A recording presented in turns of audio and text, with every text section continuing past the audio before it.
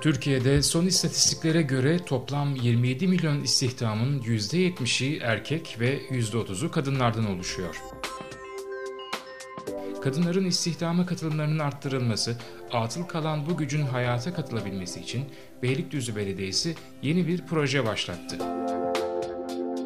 Beylikdüzü'nde yaşayan vatandaşlara ve öncelikle kadınlara istihdam sağlamayı amaçlayan İşte Destek Projesi'nin lansmanı Beylikdüzü Kültür Merkezi'nde yapıldı.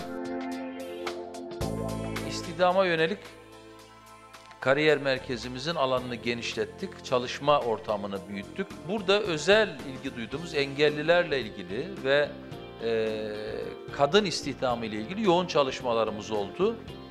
E, engellilerle ilgili yine İşkur e, ortaklığıyla yürüttüğümüz çalışmalarda bir buluşmada 70-80 engelli vatandaşımıza iş imkanı sağladık.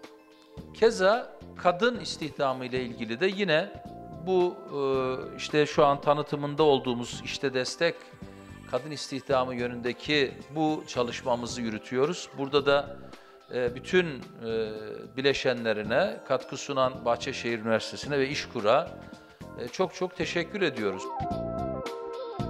Belediye, üniversite, sivil toplum örgütleri ve iş dünyasını bir araya getiren bu yeni işbirliği modelinde ana hedef Beylikdüzü'nde kadın istihdamını arttırmak.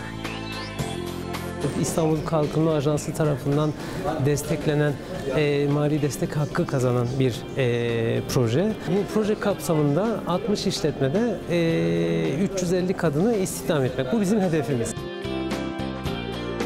Özellikle kadın dostu bir belediyeciliği ortaya koymak çok önemli.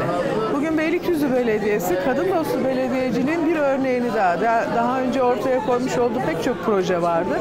Bunlardan yeni bir aşamayı daha ortaya koydu. Beykam'da kurulan kadın istihdam masalarında bir eğitim koordinatörü, iki psikolog danışman ve iki kariyer koçu bulunuyor. Ayrıca sadece kadınlara yönelik iş imkanlarının yönetileceği özel bir web portalı oluşturuluyor.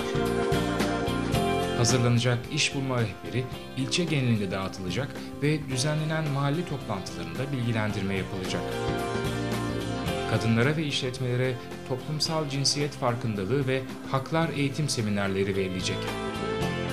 Sektörel ve eleman ihtiyaçlarına göre oluşturulacak masalarda kadınlar ilgi duydukları sektör temsilcileriyle bir araya gelecekler.